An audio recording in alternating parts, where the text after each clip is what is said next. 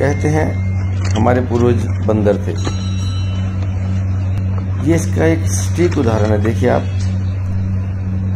जैसे हम लोगों के पास कितना भी पैसा हो जाए, कितनी भी दौलत आ जाए बड़ी बड़ी गाड़ियाँ हो, एरोप्लेन हो, लेकिन मनुष्य की अपनी एक कुंठा, मनुष्य का जो लालच, वो सारी उम्र ख़त्म नहीं होता है। उसी के एक स्टीक उदाहरण देखिए।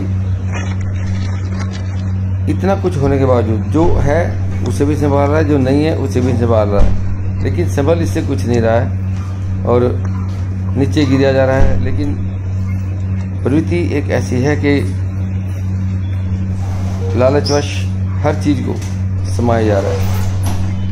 ये भी देख रहा है कि पीछे कोई और दूसरा बंदर तो नहीं आ रहा है। पाव मिले तो पाव इकट्ठे कर लिए केला मिला तो पाव छोड़ दिए। फिर पाव की वैल्यू नहीं। इसी तरह हम एक मकान मिल गया, फिर दूसरा चाहिए, दूसरा मिल गया, फिर तीसरा चाहिए। एक गाड़ी आ गई तो बड़ी गाड़ी चाहिए। बड़ी गाड़ी आ गई तो हवाई जहाज़ चाहिए। तृष्णाएँ हैं, मिटती नहीं है। यही कारण है कि हम लोग परेशान हैं। बड़ी बड़ी बीमारी लिए घूम रहे हैं। दोस्तों एंजॉय कीजिए।